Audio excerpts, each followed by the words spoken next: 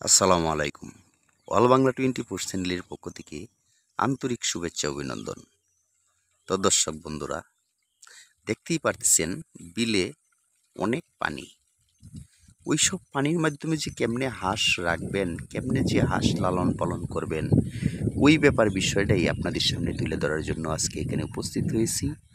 পানির মাধ্যমে অতিরিক্ত বন্যার পানির মাধ্যমে, অতিরিক্ত পানির মাধ্যমে হাঁস, রাখার কিছু কলা কৌশল আপনাদের সামনে তুলে ধরতেছি। যেহেতু হাঁসগুলি আমি লালন পালন করেছি, হাসির চরিত্র সম্পর্কে, হাসির নৈতিক একটা চরিত্র আছে, ওই চরিত্র সম্পর্কে কিছু আলাপ আলোচনা করব। তো চলুন বন্ধুরা, মূল প্রসঙ্গে যাই। হাঁসকে কন্ট্রোল নিয়ন্ত্রণে রাখার জন্য একটা পথ প্রসেস আছে, বা রাখতে পারবেন। রাখার একটা সিস্টেম আছে। ওই সিস্টেমটা হলো হাঁসে মাঠে মাঠে খাবার দাবার করল। হাঁসে মাঠে খাবার দাবার করল। খাবার দাবার করার পরে প্রতিদিন বিকাল চারটের সময় একই শুকনো একটা স্থানে, একই স্থানে প্রতিদিন খাবার দিবেন।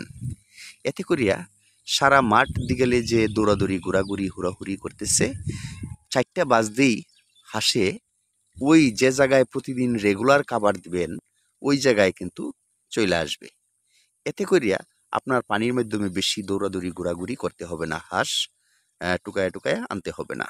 ওই খাবারের লোভে সারাদিনে একবার প্রতিদিন বিকাল চারটার সময় যদি খাবার দেন, তাহলে ওই হাঁসগুলি আপনার হাতের কাছে চলে আসবে, শুকনা জায়গায় চলে আসবে অটোমেটিকলি চলে আসবে। আর সারা বিল জুড়ে হাঁসগুলিকে টুকায় টুকায় আনা ওই পানির মাধ্যমে শ্রম দেওয়া? আসলে এটা কঠিন ব্যাপার বিষয়, কঠিন কাজ। এটা আসলে একটা কষ্টজনক কাজ। যে সময় মাটি, পানি থাকে পর্যাপ্ত পরিমাণ, অর্থাৎ বিলে পর্যাপ্ত পরিমাণ পানি থাকে ওই সময় মাটি হাঁস রাখাটা আসলেই একটা কষ্টকর ব্যাপার বিষয়। মাঠে যখন পানি থাকে বেশি, অর্থাৎ বিলে যখন পানি বেশি থাকে, বন্যার পানি থাকে, অতিরিক্ত পানি থাকে, ওই ক্ষেত্রে হাঁসগুলি যদি সারেন মাঠে তাহলে হাঁসগুলি এলোমেলো হয়ে যাবে। আর হাঁসগুলি যদি এলোমেলো হয়ে যায়, তাহলে একসাথে করাটা মোটামুটি ভালো একটা কঠিন কাজ। ওই ক্ষেত্রে ওই প্রসেসটাই আপনারা ওই কাজটাই আপনারা করবেন যে প্রতিদিন বিকাল চারটের সময় একই জায়গায় খাবার দিবেন। আর একই জায়গায়, একটা শুকনা জায়গায় যদি খাবার দেন বিকাল চারটা, তা ওরা বিকাল চারটা বাজতেই ওই হাঁসগুলি ওই শুকনা স্থানে চলে আসবে। ওই ব্যাপার বিষয়টা যদি লক্ষ্য রাখেন, আপনাদের হাঁসগুলি লালন পালন করতে সহজ হবে। তাহলে হাঁসগুলির পিছে দৌড়াদৌড়ি, ঘোরাঘুরি কম করতে হবে। আপনাদের পরিশ্রম কম হবে।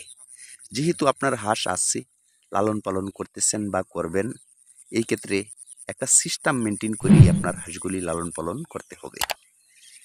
আজকে এখানে খাবার দিলেন, কালকে ওখানে খাবার দিলেন মানে বিভিন্ন জায়গায় যদি খাবার দেন তাহলে হাঁসগুলি এলোমেলো অবস্থায় থাকবে। এতে করে আপনার পরিশ্রম বেশি হবে। ওই ব্যাপার বিষয়টা ওই জন্যই লক্ষ্য রাখবেন। তো হাঁস লালন পালন অতিরিক্ত পানি যদি থাকে, বন্যার পানি যদি থাকে আবার অক্ষরে পর্যাপ্ত পরিমাণ মানুষই থাকার অবস্থান নাই, ওই ক্ষেত্রে তো হাঁসের যত্ন নেবেন, নিজের যত্ন নিয়েই পারতেছেন না। তো মোটামুটি মতে নিজের টাকা টাকার জায়গাটা এবং হাঁসের কামারটা রাখার যে জায়গাটা আছে, ওই জায়গাটায় শুকনা অবস্থায় আছে। ওই ক্ষেত্রে আপনার হাঁসগুলি তো, আপনি যেহেতু আছেন, আপনার হাঁসগুলি তো লালন পালন করতেই হবে বা করবেনই। যখন অতিরিক্ত পানি হয়ে যাবে, তখন তো আর রাখা সম্ভব হইতেছে না বা রাখবেনও না।